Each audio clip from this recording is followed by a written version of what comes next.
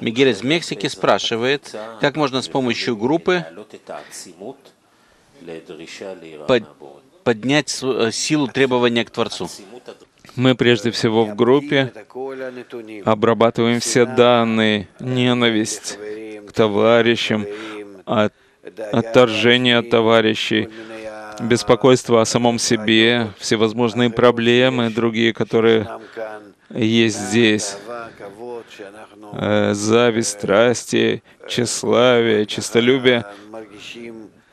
То, что мы все время чувствуем, это должно быть еще более ярко выделенным и более понятным мне, в чем я нахожусь.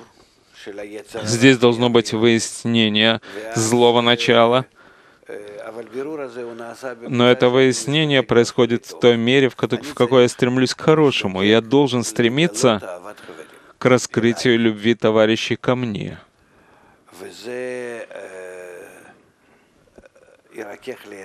И это смягчит мое сердце и даст мне возможность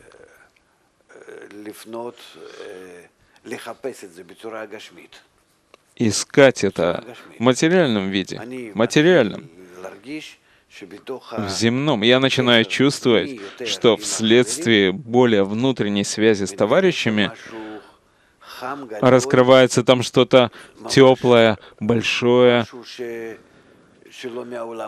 что-то не из этого мира, своего вида энергия, тепло, особая сила, особая связь. И эта связь не зависит ни от нас, ни от того, чем мы занимаемся теперь, и где мы теперь находимся в чувстве и в разуме, но это что-то находящееся и связывающее нас. И это совершенно не зависит от нас, потому что там есть э, э, буквально железная сеть, в которой мы все связаны вместе. И чтобы почувствовать это, эту связь между сердцами,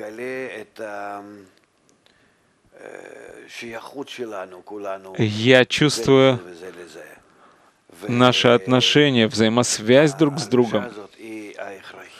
И это ощущение является обязательным для того, чтобы начать развивать что-то против нашего узкого эгоизма.